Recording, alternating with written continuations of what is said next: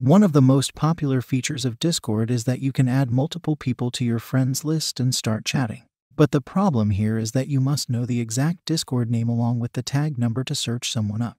In this video I will show you how to search for someone on Discord using three methods. My name is Omkar, and let's get started.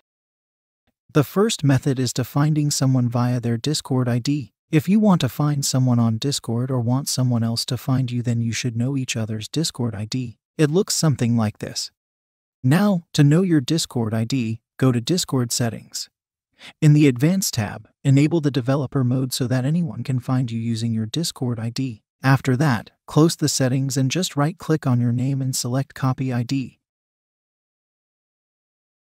This will copy your ID that you can share with your friends. Using this ID, you can go to discord.id and enter their Discord ID to look up their username and tag number.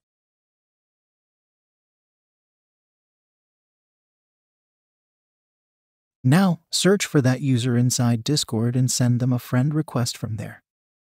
The second option is to use Discord's built in search functionality. Just enter someone's first name and look for them in the server. Then from there, add them as your friend.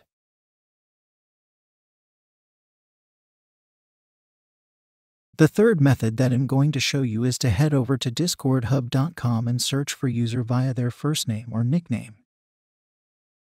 If you are able to find them, just copy their username and tag number. Now search for that user using Discord. Simple as that, isn't it? Okay guys, that was all for this video. If you know some another method to find someone on Discord, then do let me know in the comments below. Catch you guys in the next one.